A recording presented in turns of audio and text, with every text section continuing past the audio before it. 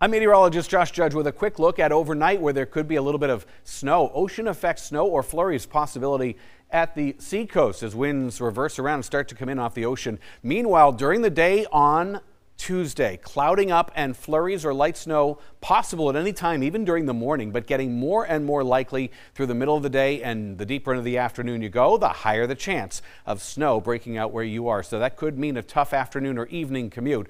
Speaking of evening, when we get into the evening, look what starts to happen towards southeastern New Hampshire, trying to change over to rain, and that rain could spread inland for a brief while before going back to snow. The whole thing ending early Wednesday morning between 6 and 9 a.m. for many of these spots you see here, and then mid to late morning everywhere else in terms of total accumulations. The highest amounts will be across the Mount Washington Valley, the White Mountains, Lakes region, and down to about the Lake Sunapee area with lesser amounts around it, and the smallest amounts will be toward the coast.